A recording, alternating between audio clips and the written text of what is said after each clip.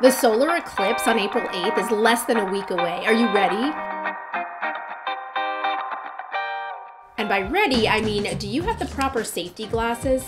You need eye protection. Even though the moon is blocking the sun and it seems a lot less bright, those rays are still too powerful. You could do some serious and permanent damage to your retinas. Regular sunglasses just aren't gonna cut it. These glasses have a special filter that protects your eyes from those harmful rays so you can watch the eclipse safely.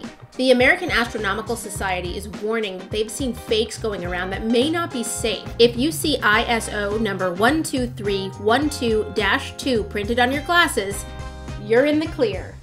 You can get certified eclipse glasses for free at your local library or at New York State Thruway stops and welcome centers. You can also buy them at your local hardware store. Head on over to timesunion.com for more eclipse watching tips and happy viewing.